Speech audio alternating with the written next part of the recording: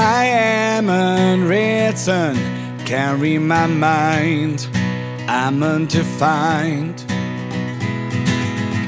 I'm just beginning, the pen's in my hand, ending unplanned. At the blank page before you.